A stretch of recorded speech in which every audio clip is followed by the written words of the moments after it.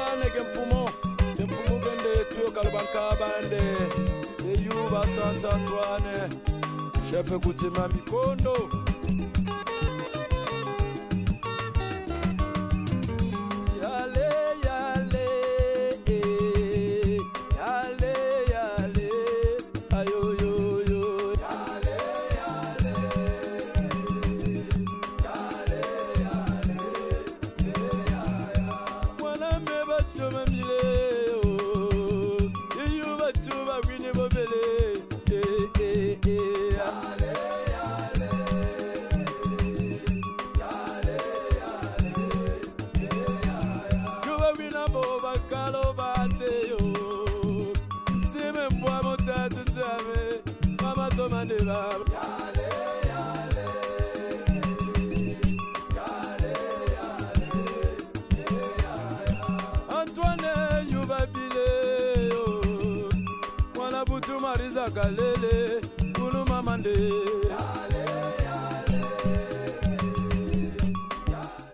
Fantastique Info TV, magazine au business.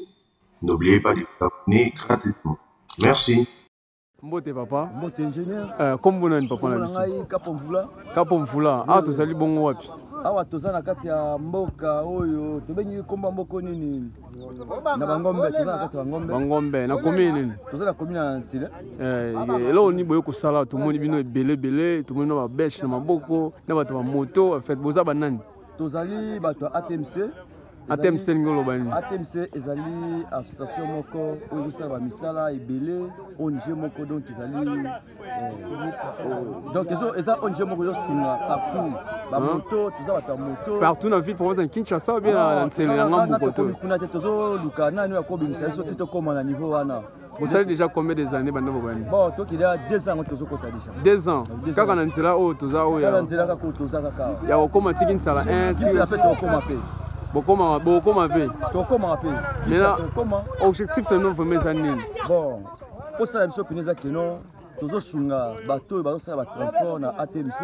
banzela banini tusa tusa tozobongisa place bandeko na biso bazotambola na bacharge baza na badifficulté te baza mpe na problème te mpo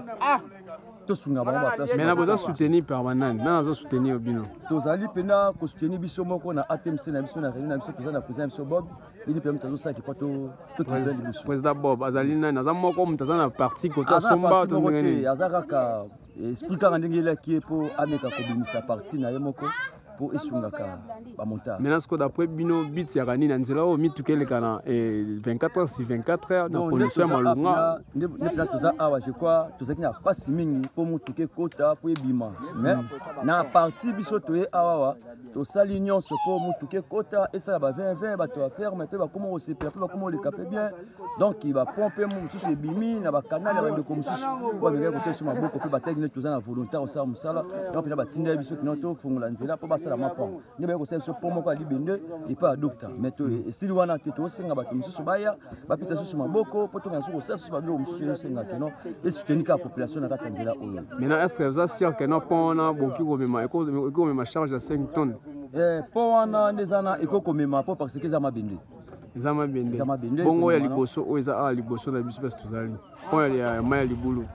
wana nano ya liboso wana eosupporte te parce que eza mpenza na makasi mpenza te mena bozolobaka nini mpo na yango ntanke bozobongisa deja banzela mpo na bon tozolobaka keno oyo amoniki akoki mpo na kolonga biso na boumbu wana akotya biso maboko mpo toyebi nao te moto akolonga biso na boumbu wana oyo amoniki akoki akobengisa atmc atmc ye après tokumbami biloko tokosenga ye nde ekopermettre biso tosala mpo wana Ouais, mais maintenant, zolo bana nini na ba oyo ba ndeko ba somba ba ngambu koto yo o ba lekanaka de chaque fois ba lina mutuka na ba ba nzela oyo mais ba kipa ba bino te et ba beta mo ba karana oyo tali nzela oui na zolo bana bango ba to basala ba ba activité boye mm. ba tika bongo te ba tia maboko ba pesa biso pe biboko biso pe to sala to senga bango ba biloko to ko senga po to bongisa nzela oyo mais bango pe basala ba activité koto ba tala non nde mutu moko asalaki bango mpe batya mpe su maboko babakisa susu bapont mosusu babongisa nzela mpo eza baaktivité na bango moto eza kotonga meme na biloko ndeti nini osengi osenga bon neti mpo na ngai nakosenga bango na eloko ya liboso nano nakosenga nano bapau nasengi babourete nasengi soutien nasengi eh, bambongo oyo nakoki kosalela bamateriel wana vraiment soki lelo motu moko amonani ete aza na besoin ya kutana na président na bino asoutenir bino de façon ke nzela oyo efongwama mema e comme il faut po yeba kokanalize bama est ce que mosala bozosala bozokanalize mpe bamai tozosala mpe tozosala mpe nyonso lobi so mbula eye kodetruire so banzela soki mpena keno toza makasi na baoutillage oyo tozomanke Hmm. soki bayeli biso yango tokosala mpenza ata makambo maya nini masu te jeko ozomona deja bamoto mbote papa kombo nani papa michel tozali wapi lobama makasi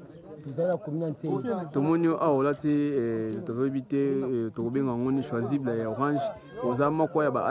atmc mosala nini boye kosala awa lokola président asalaki président moninga moko azwaki mwa makasi ya koluka solution ya kobongisa nzela oyo mpo tozalaki na mpasi mingi esengaki mituka ezokota bamoto ezokota mpo mpasi tozalaki koto oyo